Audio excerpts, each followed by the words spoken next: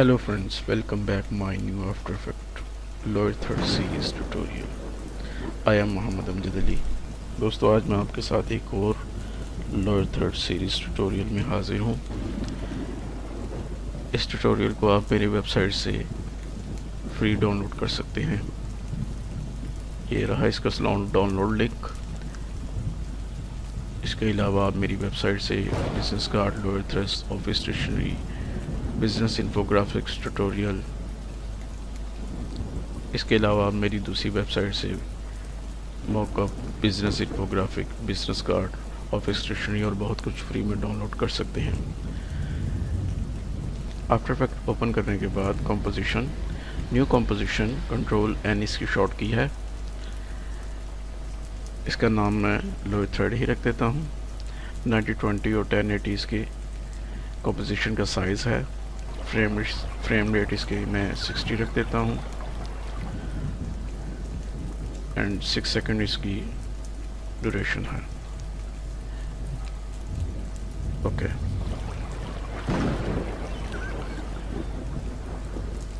Pen tool को select कर लें।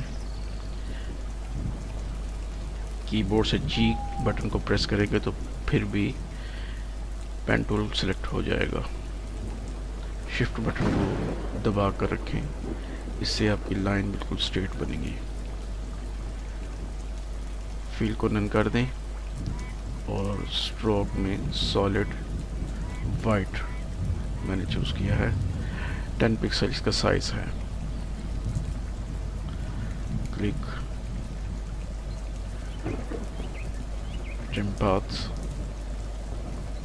move to one second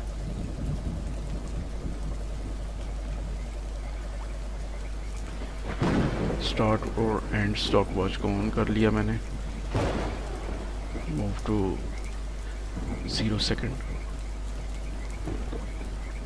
start value को 50 और एंड वैल्यू को भी 50 मैंने कर दिया है।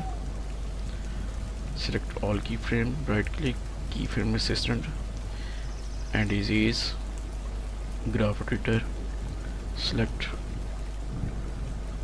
यहाँ से आप इसकी स्पीड स्लो या फास्ट कर सकते हैं। जैसे कि शुरू में इसकी जो स्पीड है वो फास्ट होगी और आखिर में जाके इसकी स्पीड थोड़ी सी स्लो हो जाएगी।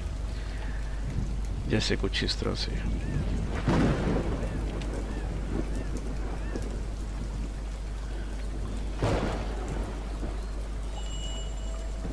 Control D to duplicate layer इसको कलर इसका कलर मैं थोड़ा चेंज करता हूँ. F F six one three eight okay move to twenty one second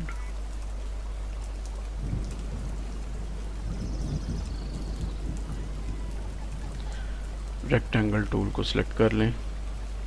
क्यों उसकी शॉर्ट की है। यहाँ पे रूलर है। अगर आपको ये रूलर नज़र नहीं आ रहा तो व्यू क्लिक करने के बाद शो रूलर को चेक कर दें। कंट्रोल आर इसकी शॉर्ट की है।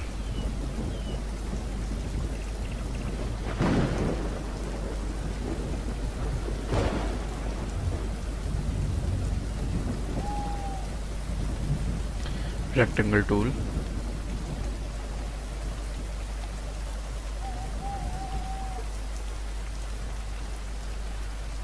स्ट्रोक को नन कर दें और फिल में मैं फिल करता हूँ seven nine B D eight F okay rename shape L mean shape left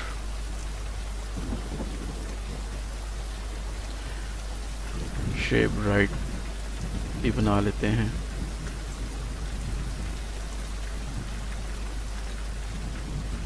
इसका नाम मैं रख देता हूँ shape are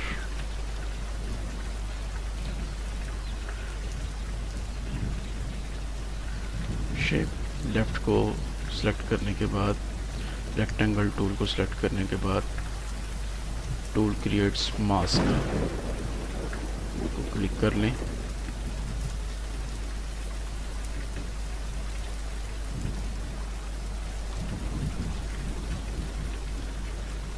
Move to 43 second.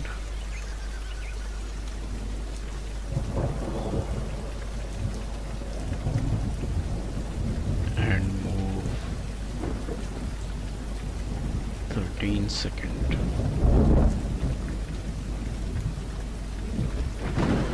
Double click on mask.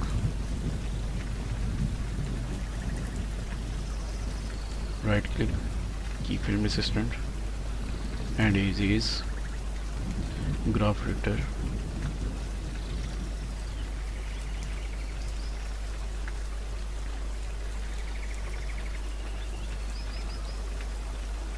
बिल्कुल सेम प्रोसेस आप शेप आर पर भी कर लें।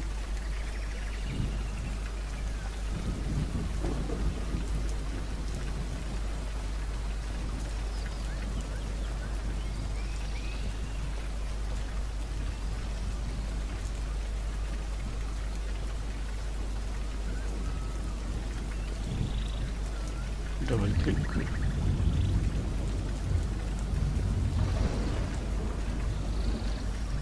select all keyframe keyframe system and easy is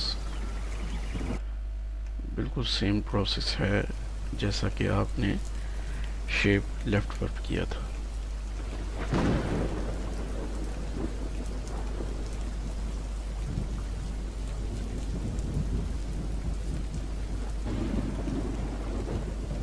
control D to duplicate layer move to 21 second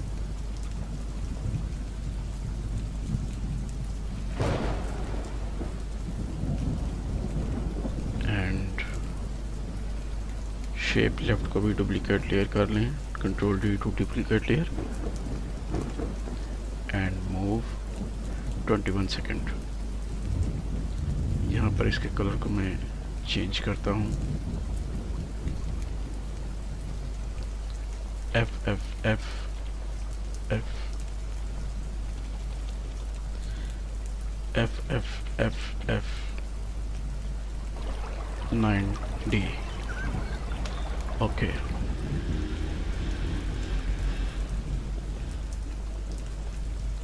दूसरी तरफ़ भी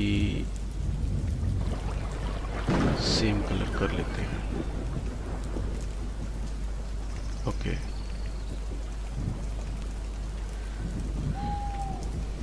control D to duplicate layer इसका कलर मैं सॉलिड ब्लैक कर देता हूँ।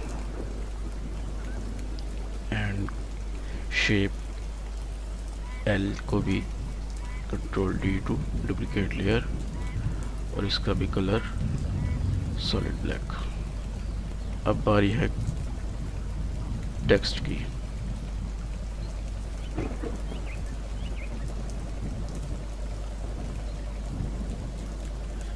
इस लेयर को मैं थोड़ा ऊपर कर लेता हूँ, सबसे ऊपर।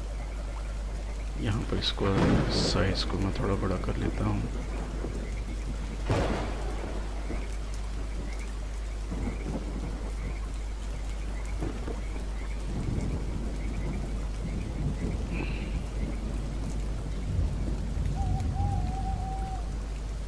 यहाँ पर आपने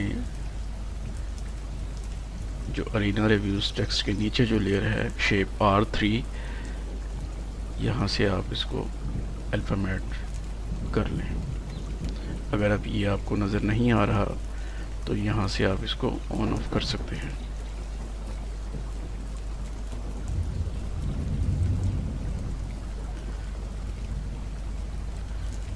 move to 43 second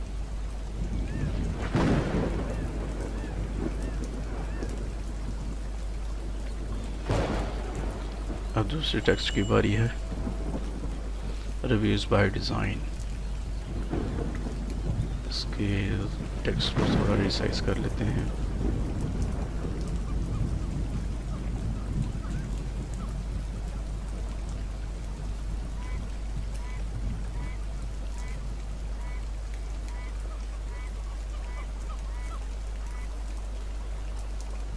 बिल्कुल same process shape left 3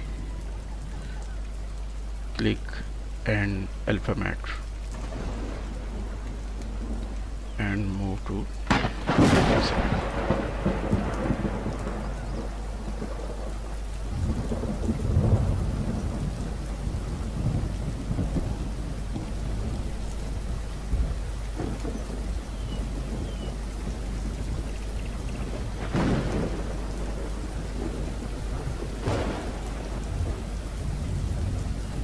हमारा लोड थ्रेड बिल्कुल तैयार है।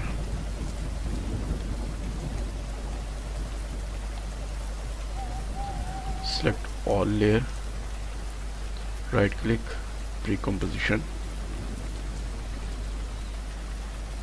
इसका नाम मैं रख देता हूँ main okay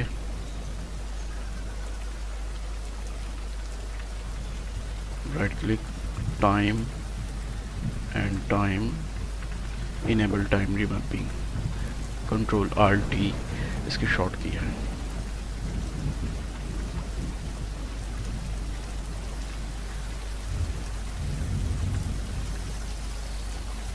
यहाँ पर एक और की फ्रेम मैंने बना लिया है। अब इस की फ्रेम को कंट्रोल सी जहाँ पर आपने जाकर इसको क्लोज करना है, वहाँ पर इसको पेस्ट कर दें कंट्रोल वी से, और इस की फ्रेम को डिलीट कर दें।